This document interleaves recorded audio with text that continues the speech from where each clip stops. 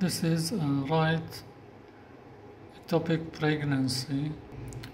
There is a gestational sac in the right adnexa containing fetal pole and yolk sac.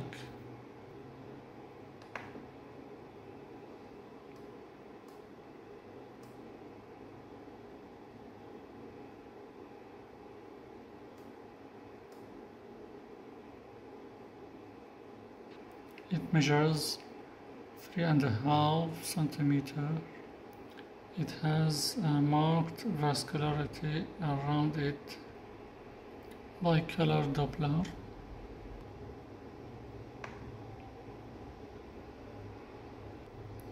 And it is separated from the right ovary, which is here, with small follicles seen inside it.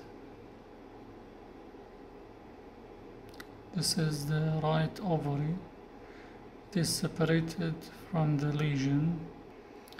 And here in the pelvis we see free fluid and blood clots moving by uh, pushing on the abdomen.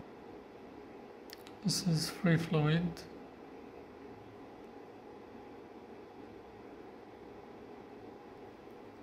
Zoom the view of the gestational sac.